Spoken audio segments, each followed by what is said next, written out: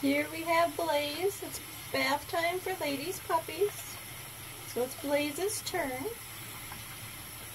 I've got him in a sink full of water.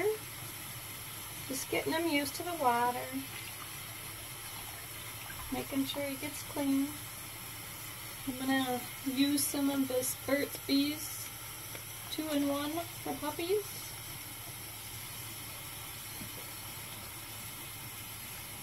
I'm gonna put some in my hand here. Oops. I'm gonna get his paws here. What do you think, Blaze? I'm gonna get underneath his chest here. Oops, sorry, bud. I'm gonna put a little bit more on his back. Just a little bit, don't need a whole lot. Just getting him used to the baby.